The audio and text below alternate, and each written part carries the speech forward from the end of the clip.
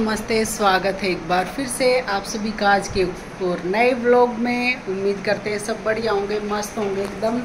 और टाइम हो चुका अभी सवा आठ, दिन है सोमवार का और अभी जा रहे हैं हम मंदिर में। पेंट पैरगे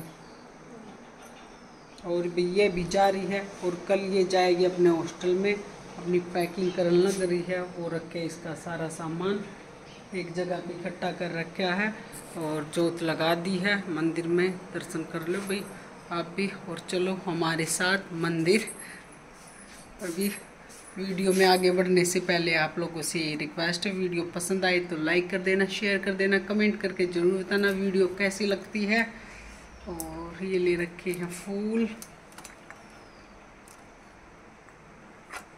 जो उसमें लगा रखे ऊपर गमले में।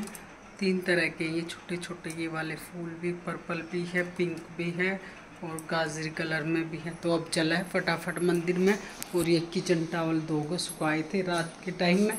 धूप निकल रही है, अब ऊपर डाल काऊँगी कपड़े थोड़े से बाकी रह रहे अभी। दोने थोड़े से धो दिए हैं और चले अब मंदिर। और अभी पहुँच चुके हैं मंदिर में। कर लेते पहले थी थोड़ी सी साफ़ सफ़ाई। क्योंकि भाई सावन में ही लोग ज़्यादा आते थे और अब तो ऐसा हो रखा जैसे भूल से गए हों। तो मैं तो आ गई थी भी सोमवार के दिन भी और भगवान तो वही हैं जो सावन में थे, वही भोलेनाथ बाबा अब भी हैं यहाँ पे। तो लोगों की अपनी अपनी सोच हो जाती है, भाई और वो टाइम भी आजकल भाई किसी के पास भी इतना टाइम नहीं है। चाहते तो पता नहीं क्या क्या है कि भगवान हमें ये दे दे, वो कर दे, ये कर दे। और इंसान के पास इतना भी टाइम नहीं है कि दो मिनट बैठ के कोई पूजा, मंत्र कुछ भी कर ले, कुछ पता ही नहीं होता कहते कि हाँ हमारे पास तो टाइम नहीं, एक मिनट का भी टाइम नहीं। अगर हमारे पास टाइम नहीं है तो भगवान के पास भी फिर हमारे लिए टाइम है ही नहीं। क्योंकि हमारे पास उनको याद करने के लिए टाइम नहीं है, दो मिनट तीन मिनट तक नहीं है। तो फिर उनके पास हमारे लिए कैसे होगा वक्त?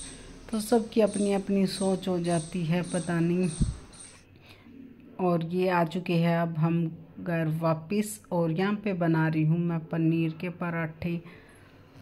तो ये दो तीन दिन से ला के रख रखा था पनीर, और ये क्लिप मेरी कई दिन पहले की है वीडियो जब इशिका यहाँ पर थी और तब से ये एडिट ही नहीं हो पाई थी वीडियो तो अब जाके मेरे को टाइम लगा है। तो जो पनीर है तो उसको तो भी अदरक वाले जो अदरक कसने वाला होता है, उसकी मदद से मैं इसके ऊपर फैला लेती हूँ, कट कर लेती हूँ, इसकी बारीक बारीक बुरादा सा हो जाता है। और हरी मिर्ची और बाकी के जो भी मसाले हैं, वो आटे में ही मैंने गूंद रखे हैं।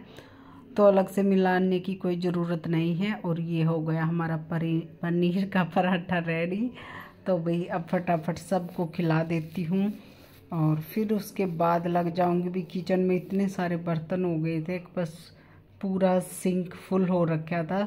ऐसा लग रहा था मानो रसोई के जितने भी ये बर्तन हैं, सारे सिंक में ही आके इकट्ठा हो रखे थे। और अभी इनको फटाफट साफ़ कर लेती हूँ। थोड़े से मशीन में अभी कपड़े और रखे हुए हैं। एक दो टावल डाल रखा है। बस छुटपुट से ही पड़े हुए हैं तो वो भी निकाल के और मशीन को कर देती हूँ साफ़। तो ऐसा ही चलता रहता भाई पूरे दिन और सबका डेली का यही रूटीन है। अगर हम व्लॉग बना रहे हैं वीडियो बना रहे हैं तो अपना डेली का रूटीन अपनी बातें हैं। जो भी शॉपिंग करते, वही शेयर करना होता है। और वीडियो बनाना बिल्कुल भी आसान नहीं है। बना तो लेते हैं, वो एडिट करने में बहुत ज़्यादा टाइम लगता, बहुत ही मेहनत लगती है। तो उस मेहनत का फल भी दे दिया करो भाई, आप साथ साथ में और लाइक कर दिया करो वीडियो को शेयर कर दिया करो और कमेंट करके ज़रूर बता दिया करो कि भाई आपको वीडियो कैसी लगती है। और जिस स्पीड से वीडियो चल रही है, अगर इसी स्पीड से इंसान काम करने लग जाए तो भी काम ख़त्म होने वाले बिल्कुल भी नहीं हैं। तो काम तो ऐसे ही चलते रहेंगे और अब आ चुकी हूँ मैं मशीन को खाली करने के लिए। ये भी बेचारी परेशान हो जाती है दूसरे तीसरे दिन कितने सारे कपड़े धो धो के घुमा घुमा के मेरे को तो बिल्कुल पागल ही बना रखा है। इतने कपड़े धोती है ये।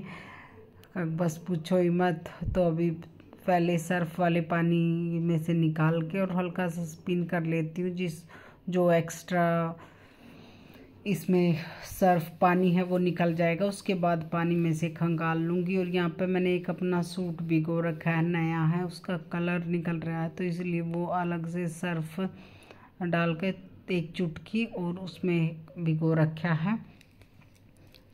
अलग से और नया सूट भी है तो नए कपड़े को भी ज़्यादा मैं हाथ से ही धो लेती हूँ मशीन में। अगर उसमें कलर वगैरह नहीं जाने का कोई दिक्कत नहीं होने की ऐसा लगती है बात तो फिर तो डाल देती हूँ वरना फिर हाथ से ही धो लेते हैं। और नया नया कपड़ा जल्दी ख़राब भी हो जाता है। और लेडीज़ के तो भी सूट ही आजकल ऐसे चल रहे हैं, कपड़े ऐसे आ रखे हैं कि किसी की सलवार में से कलर निकल रहा है, किसी की कमीज़ में से निकल रहा है, किसी में कोई सितारे है, कोई डिज़ाइन है, कोई कुछ है। तो ये था मेरा आज का एक छोटा सा व्लॉग अगर आपको वीडियो पसंद आई हो तो जाते जाते वीडियो को लाइक कर देना शेयर कर देना और कमेंट करके ज़रूर बताना। फिर मिलते हैं नेक्स्ट वीडियो में। तब तक के लिए okay and bye bye thank you thanks for watching